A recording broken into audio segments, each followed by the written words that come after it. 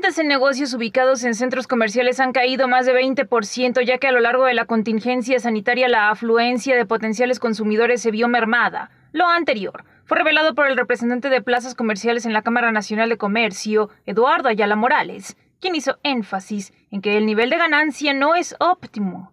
Aunque un respiro para locatarios es que en algunas se mostró flexibilidad en el cobro de renta y otros conceptos les han favorecido a los locatarios, les han disminuido su renta, les han disminuido el monto de mantenimiento, en el mejor de los casos a la mitad de, la, de la renta. Sobre la desocupación de espacios, indicó que existe variación de acuerdo con el complejo comercial, pero hay casos de una quinta parte que quedaron vacíos.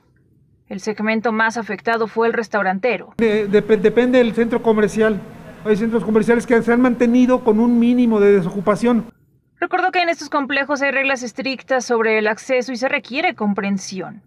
Por otro lado, Ayala Morales afirmó que las estrategias de vigilancia se han diseñado por las autoridades y existe confianza acerca de su efectividad. No ha habido robos en los centros comerciales recientemente. Eh, el paciente puede estar seguro.